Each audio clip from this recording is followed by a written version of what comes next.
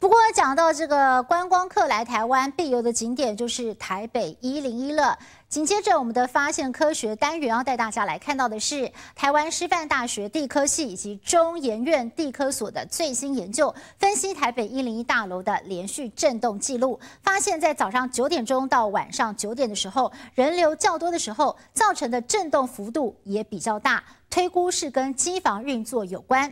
而另外来看到的是，当温度越高，振动频率也越高，而风速越高。振动频率则是越低。这项研究成果荣登国际学术期刊，有助于未来针对其他建筑物进行更详细的健康监测。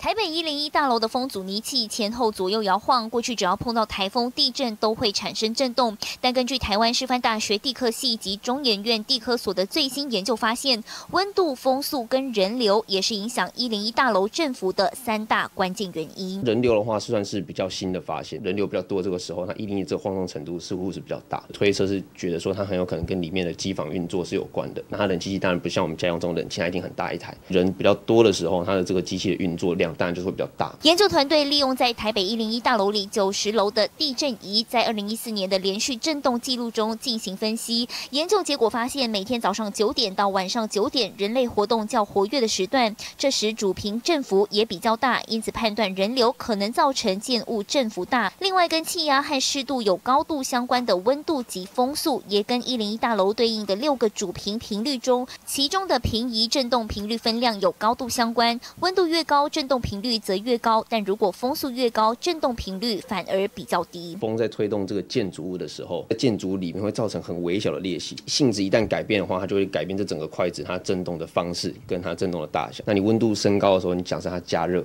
它的这个软硬度就会受影响，那当然就会影响它这个晃动的这个程度跟它主要这个频率。这项研究成果荣登国际期刊跟封面，研究参数也将作为综合指标，有助于针对其他建筑物进行更详细的健康监测跟检查。记者李素瑜、林宇台北采访报道。